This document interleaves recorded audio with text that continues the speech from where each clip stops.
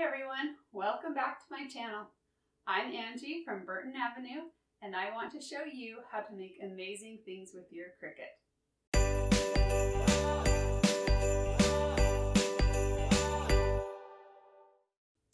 Welcome to day 5 of my 25 Days of Craftmas series where I show you how to make 25 different Christmas projects using your cutting machine. And I also share the SVG files I use to make the projects for free, so you can make them at home. Today, I'm showing you how to make this giant Christmas countdown sign. Aren't those little buckets cute? This sign is perfect for when you want to give away a small treat or toy as the kids count down the days till Christmas. Let's go take a look at the supply list and get started. For this project, you're going to need eight 15 inch by 3.5 inch pieces of wood for the slats on the sign.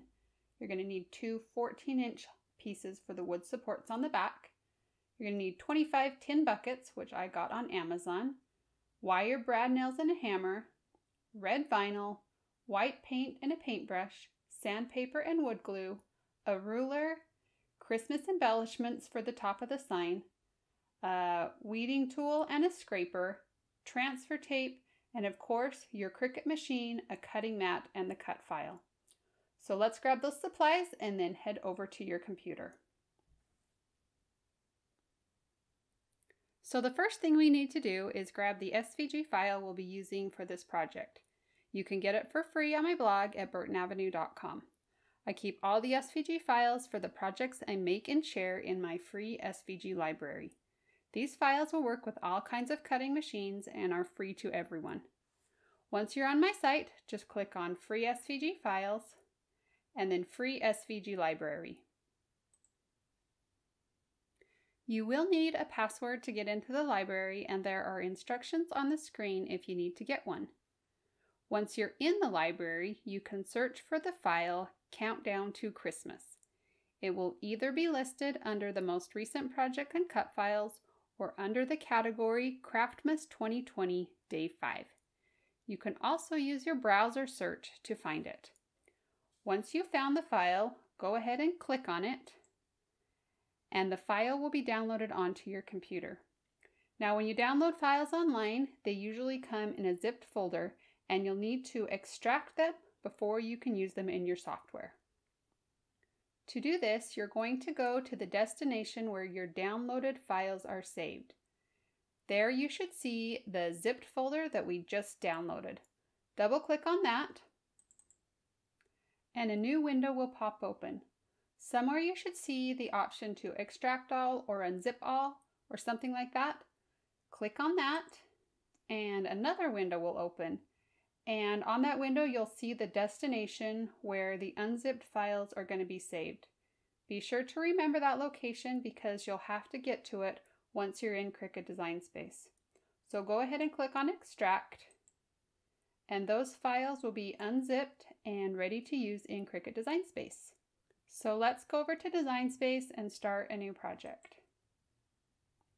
Once you're on the Canvas screen, you're going to go over and click on the Upload button and then click on Upload Image and then select Browse.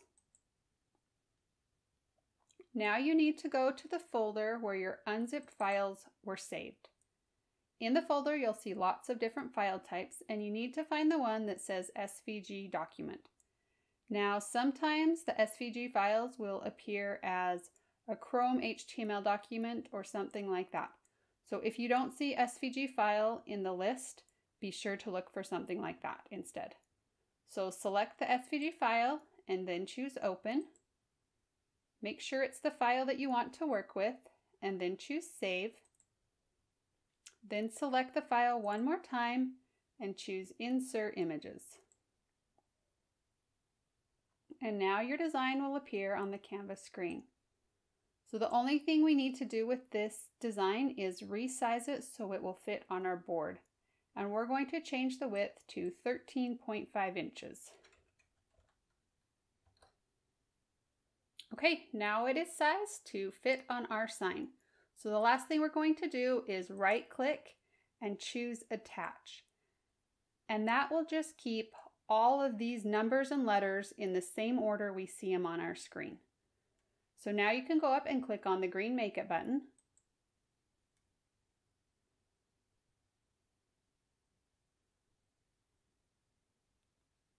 Now, since this design is 13 and a half inches wide, we are going to have to use a bigger cutting mat. And this little notification up at the top just lets us know that. So we're going to click OK, and then we'll click Continue.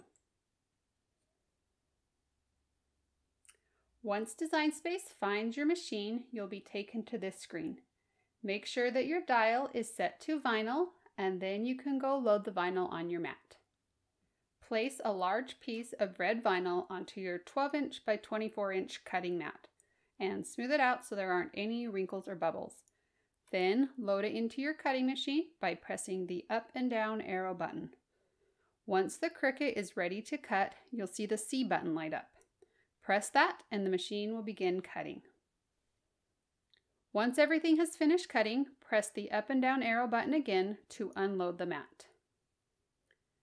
Now that everything is finished cutting, it's time to weed away the excess vinyl. And this just means we're going to pull off the vinyl that we don't want left on the design. You can use a weeding tool or a craft knife to pull out any tiny pieces inside of the letters or numbers. Now that everything's weeded, we are going to apply the transfer tape. So grab some transfer tape and cut a piece a little bit bigger than the design. Place the transfer tape sticky side up on your surface and then place the vinyl on top of that. Smooth everything down, then trim off the excess transfer tape and vinyl backing. Now rub over your design again with your scraper just to make sure that everything is sticking where it's supposed to. Then you can cut apart all of the numbers. Now we're going to apply the numbers onto our little tin buckets. Start by grabbing one of the numbers and removing the vinyl backing. Then center the number on the metal pill and rub over it with your thumb. Then pull off the transfer tape. Rub over the number again and try to push it down into those little ridges of the bucket. Then repeat this step with the other 24 buckets. Now it's time to work on our wooden sign. To make this sign, you'll need eight wooden slats that measure about 15 inches by 3.5 inches. You'll also need two pieces of wood for the supports that measure about 14 inches long. I use poplar for the slat signs and furring strips for my supports. Start by sanding all of the wooden slats. As you're sanding, take a look at each slat and place the best looking side down on your work surface. That will be the front of the sign. After you've sanded all of the slats, put some wood glue onto your support pieces and place them across the slats. Then put something heavy on top of your supports to help push them down. Once the glue has dried, it's time to paint. And we're just going to paint this sign all white. So paint on a few light coats of white paint. You'll probably need to do two or three coats to get a nice even look on your sign. Now we are going to mark the locations where the nails are going to go. You'll want to make these marks at the top of the very bottom slat. So grab a ruler and make marks at 2 inches, 4.75 inches, 7.5 inches, 10.25 inches, and 13 inches. Now you want to make the same marks on the next four slats. By the time you're done, you should have 25 marks on your sign. Now we're going to apply the vinyl lettering to our wood sign. Take your vinyl lettering and rub over it one more time with your scraper.